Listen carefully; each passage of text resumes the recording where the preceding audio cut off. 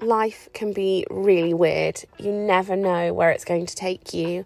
One minute I was sat on my sofa with a brand new baby girl, feeling a bit lost and alone, and I watched the video of Marie, who I thought was just the most amazing woman. She had just had her first daughter as well, and she made me feel less lost and less alone. We became friends. I blinked, and 11 years later, us and our six children were wandering around the most beautiful little town on the other side of the world. You really never know where leaving a comment is going to lead you.